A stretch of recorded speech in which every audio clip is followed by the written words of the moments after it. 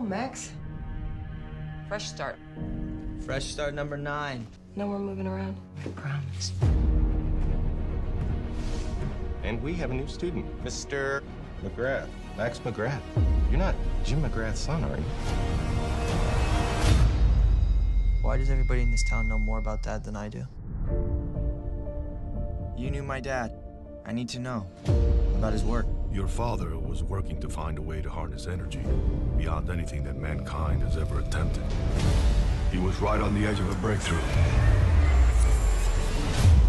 What's happening to me? Um, Max? No, stay back!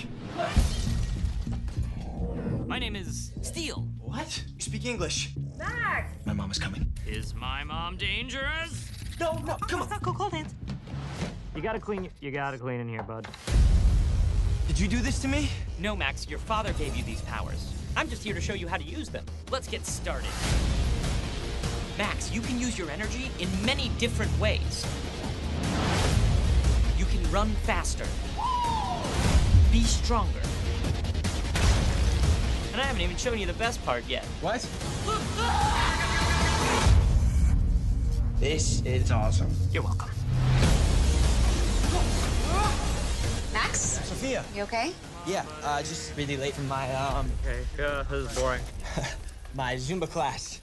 The girl appears to cause increases in heart rate. Perhaps you should avoid contact. Perhaps you should shut up. See, she has made you angry. The Ultralinks are here to destroy the Earth. And your energy is the only thing that can stop them. Time to suit up. Coming in hot, Max! Oh, I can't believe I'm doing this.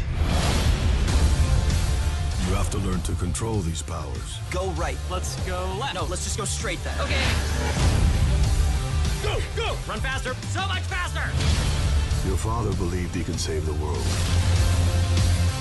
It's up to you now, Max. Steel now! Go turbo!